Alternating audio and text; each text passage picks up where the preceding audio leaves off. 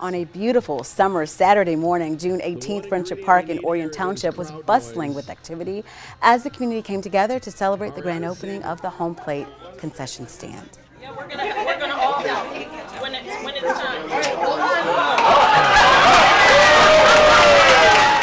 Place is, uh, it's a miracle and it's magical. It's, it's literally the best day of the week every time I'm out here. I mean, it's and then today just exceeded expectations. I mean, the perfect, most incredible baseball weather, not too hot, amazing crowd, and we received a hundred thousand dollar check that put us within forty thousand dollars of totally completing the project.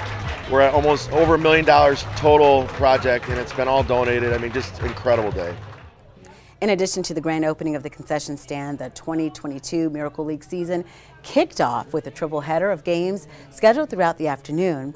The community broke ground on Miracle Field in April of 2019 with fundraising efforts beginning long before that day. Players and fans celebrated opening day in August of 2019, and construction on the concession stand began in June of 2021.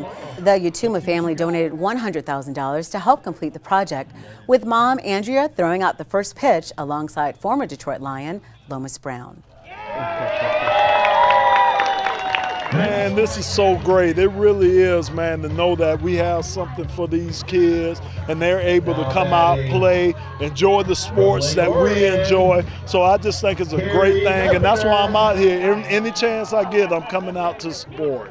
That's awesome. What are you witnessing? The atmosphere? It's great atmosphere, and that's what I think people don't realize. It's a great atmosphere. These kids are giving their best. They're out here trying, and the parents, the parents are out here having a great time. And that's what community is all about, bringing everybody together and having a great time.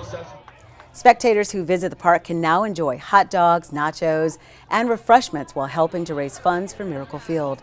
The building, now named Andrea Utuma's Home Plate Concession Stand, will employ staff with special needs.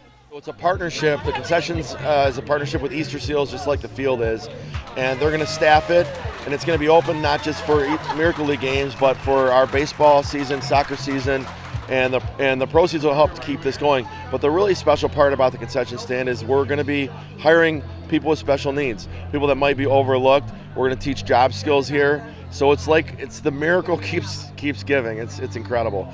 Literally the best project I've ever worked on in my life, and it's right here in our community. You know, everyone thinks what the Miracle League provides is a baseball program for children with disabilities. I see it completely differently. I see that this is an opportunity for children with disabilities to gain confidence and self esteem.